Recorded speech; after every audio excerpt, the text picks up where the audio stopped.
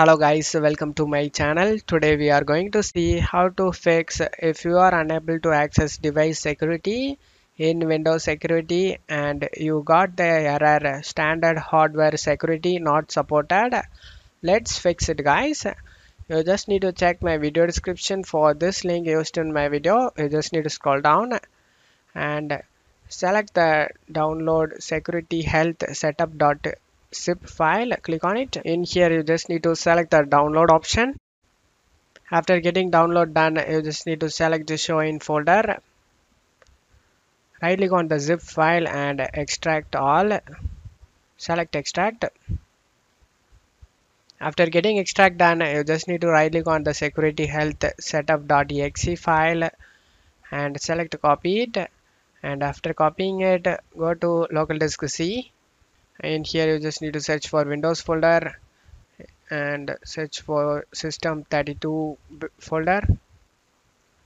Double click on it.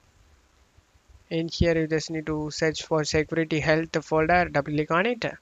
In here you just need to right click on it and paste it guys.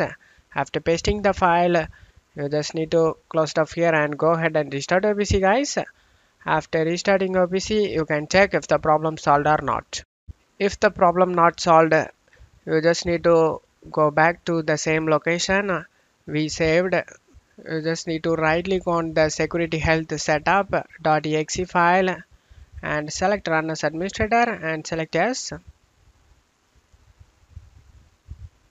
Once done you just need to go ahead and restart your pc after restarting your pc you can check if the problem solved or not if the problem not solved let's move on to the second solution guys.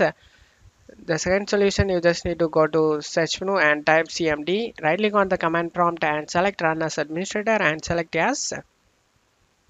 Now you just need to copy and paste this first command.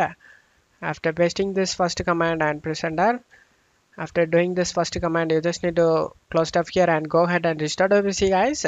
After restarting your pc you can check if the problem solved or not if the problem not solved you just need to copy the second command.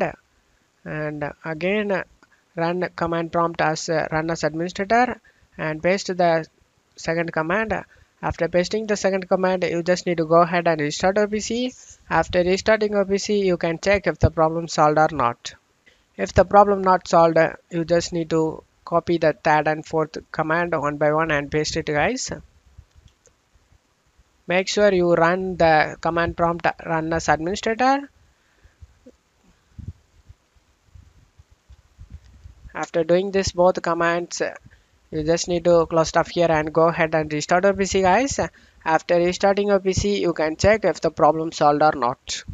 If the problem not solved let's move on to the third solution guys. The third solution you just need to check my video description for this link used in my video. You just need to scroll down under the create windows 11 installation media you just need to select download now. And after getting download done you just need to click on the media creation tool and select yes select accept. Select next. Select ISO file and select next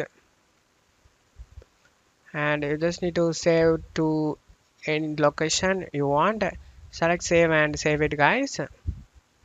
And it started downloading guys. After getting download done you just need to just double click on the file. Select to open. In here you just need to double click on the setup.exe file and select yes